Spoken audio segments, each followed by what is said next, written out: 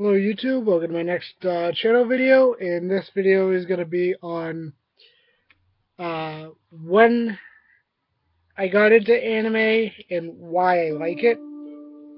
Um,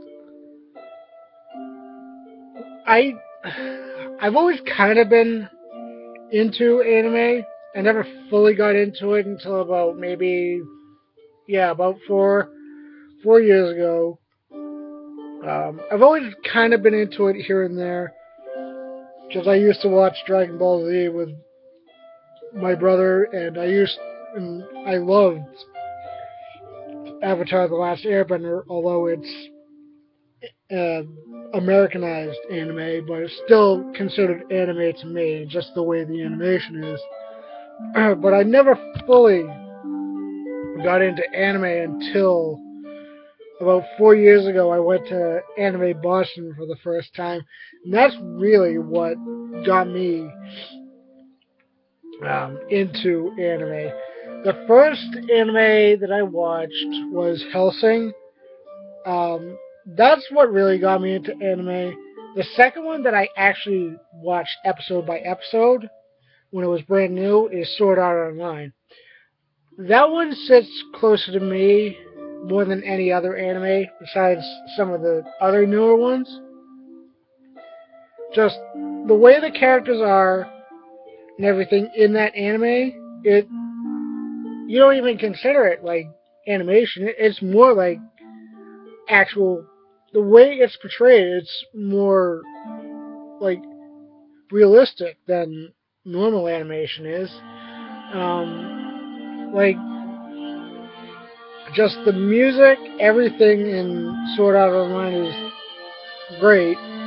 Um, me, I prefer English dubs than subtitles. That's just my opinion. I can't fully get into animes if I have to read every five minutes.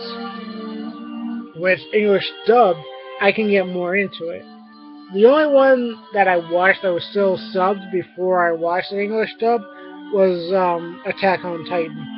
That's another one that I like a lot. Um, Blue Exorcist is another favorite of mine. I'm still fairly getting in into other animes as I go along. Um, but like why I like anime is it's not like every other cartoon. There's actual emotion. There's literally, anime can pretty much be anything. It can be drama, it can be comedy, it can be horror, it can be action. It can be pretty much any genre. And, like,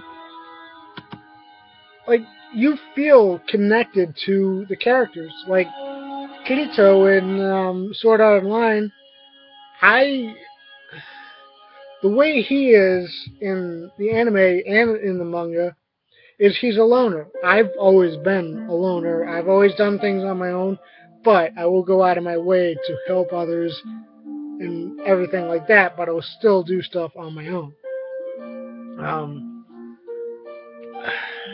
just anime has is probably one of the coolest things that I watch nowadays. I haven't watched regularly since like the one that got me into anime was my ex about four years ago. Well, she broke up with me last year, but that's another story that I'm not going to talk about. But after the breakup, for some reason, it just made me not want to watch anime for a while. I'm just, I'm slowly starting to get back into watching it, but I haven't fully gotten to that point where I'm like, I need to watch that anime or I need to watch this one. I'm slowly getting back into watching anime. The only one that I watched recently again was Sword Art Online, and it's gotten me back into anime. Um, not as much as I would like, but I'm getting there. Um, just